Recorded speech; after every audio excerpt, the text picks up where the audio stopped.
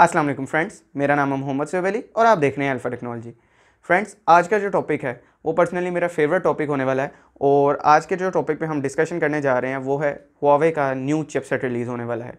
Personally uh, मुझे Huawei की chipset से नहीं कोई लगाओ मुझे चिपसेट्स के बारे में डिस्कशन करना बहुत पसंद है पर्सनली तो उम्मीद करता हूँ आपको भी मज़ा आएगा इस वीडियो में। तो इस वीडियो में जो हम डिस्कस करना जा रहे हैं हुआवे के न्यू चिपसेट के बारे में जिसका नाम है हुआवे किरिन 985 तो आज हम इस चिपसेट के बारे में डिटेल से बात करेंगे और इसके बारे में जानेंगे कि हमें इसमें क्या क्या कुछ मिल रहा है। तो ये एक लोअर फ्लैगशिप चिपसेट होने वाली है। तो इस वीडियो को एंड तक देखेगा ताकि आपको इस चिपसेट से रिलेटेड ईच एंड एवरीथिंग का पता लग सके। तो आपका मज़ीद टाइम नहीं वेस्ट करते हैं। चलिए इस वीडियो को शुरू करते हैं।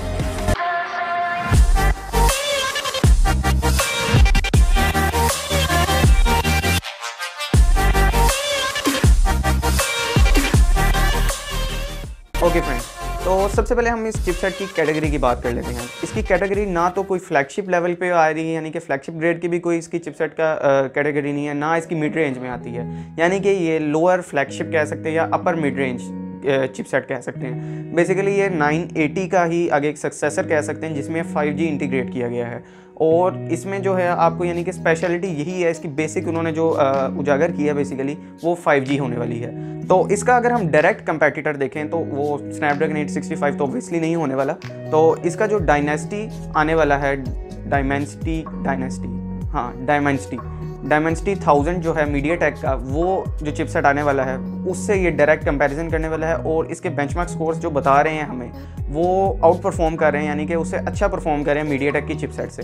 और वो इस वजह से है क्योंकि इसमें जो है एआई की पावर बहुत अच्छी है। और पर्सनली मैं अपने एक्सपीरियंस से बताऊँ तो मेरे पास हुआवे के भी डिवाइसेस मौजूद हैं, मेरे पास सैमसंग की डिवाइसेस भी मौजूद हैं। उन पर मैंने एआई के बेंच रन करके देखे हैं और हुआवे वाकई में बहुत आगे हैं। हुआवे के चिपसेट जो हैं, वो स्नैपड्रैगन से भी बहुत अच्छे आउट परफॉर्म करते हैं एआई के मामले में। और वाकई इनका जो एन यूनिट है जो कि ये डालते हैं अपने आ, कुछ हाई फ्लैगशिप डिवाइसेस में मेट टेन सीरीज़ से शुरू हो रहे हैं। तो ये जो एनपीयू यूनिट इन्होंने डालना शुरू किया ये बहुत अच्छे होने वाले और स्पेशल बात बताऊँ आपको इस चिप सेट की तो वो ये है कि आपको इसमें डुअल एनपीयू यूनिट मिलने वाला है। यानी कि कहने का मतलब आपको डुअल एनपीयू यूनिट से डुअल परफॉर्मेंस एआई के मामले में बहुत अच्छी होने वाली है। अब कई लोगों का सवाल होता है कि एआई का क्या काम है? इतना तो हमारे डेली लाइफ में यूज़ नहीं होता, ना कोई, इतना कोई स्पेशल उसका हमें कोई इंटीग्रेशन मिलती है, ना कोई एप्लीकेशन है ऐसी एज सच लेकिन इसमें आपको जो है फॉर एग्ज़ाम्पल कैमरा के मामले में बहुत अच्छी परफॉर्मेंस मिलने वाली है।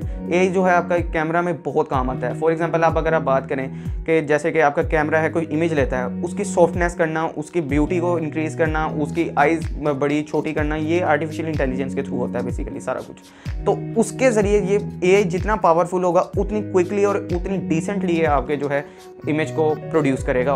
और दूसरा इसमें एक और इफ़ेक्ट आता है इमेजेस में कि ये आपकी एक्सपोजर लेवल आपका सेचुरेशन आपकी ह्यूज़ और आपके जो लाइटनिंग और शेडोज़ को कंट्रोल करने वाली जो सारी ये जो एंटिटीज़ हैं, ये सारी जो कंट्रोल करता है, वो आर्टिफिशियल इंटेलिजेंस कंट्रोल करता है। क्योंकि बैक एंड पे इसके कोई मैकेनिकल सिस्टम तो है नहीं बिल्कुल। मोबाइल में एक सिंपल सा कैमरा है बेसिकली तो ये सब जो है, वो आर्टिफिशियल इंटेलिजेंस चिप के थ्रू जो है कंट्रोल किया जाता है। तो अब इसकी मजीद एप्लीकेशन की बात की जाए एआई की तो वो ये होगी कि जैसे कि आप इमेज रिकग्नाइजेशन में बहुत अच्छा होने वाला है, यानी कि इमेज रिकग्नाइजेशन से आपका ये फ़ायदा होगा। आप किसी ऑब्जेक्ट की तरफ़ प्लेस करेंगे अपना कैमरा तो वहाँ पर ये खुद ही रिकग्नाइज कर लेगा सीन को, चाहे वो पौधा हो, चाहे वो पर्सन हो या किसी का चेहरा हो या ढेर सारे ग्रुप फ़ोटोज़ हो तो इस तरह की जो एप्लीकेशन है छोटी छोटी कैमरा में वो बहुत अच्छी होने वाली है। और दूसरा ये ग्रुप को ग्रुपिंग भी कर सकता है इमेजेस की, यानी कि अपने तेज़ी से कर सकता है। जितना तेज़ आपका ए होगा, उतनी अच्छी आपकी इमेज आएगी। ये आप एक तरह से डायरेक्टली प्रोपोर्शनल समझ सकते हैं इन चीज़ को।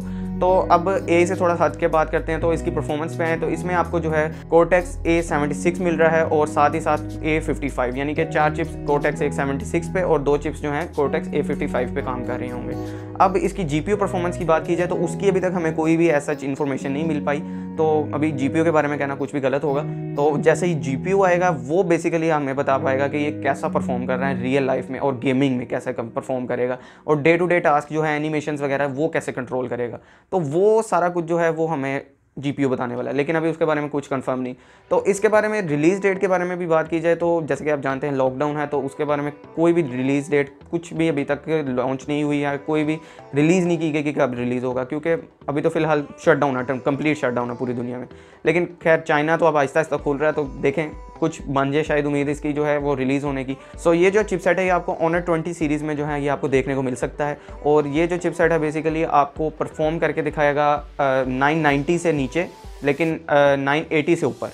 इस तरह की परफॉर्मेंस है इसकी और भी बहुत अच्छा होने वाला है, क्योंकि ये सीधा इसका कंपैरिजन अगर हुआवे में ही करें, यानी कि हुआवे की चिप चिपसेट्स हैं बेसिकली तो इसके अगर डायरेक्ट कंपैरिजन करें हुआवे में तो ये पीछे से किरिन ए ट्वेंटी जो है, उसका सक्सेसर है, उसी तरह का आर्किटेक्चर यूज़ किया गया, तीन चीज़ें जो हैं वो आपको अच्छी मिलने वाली है। सबसे पहले सी पी परफॉर्मेंस दूसरी आपको डुअल एन यूनिट मिलने वाला है, तीसरा इसमें आपको फाइव जी मिलने वाला है।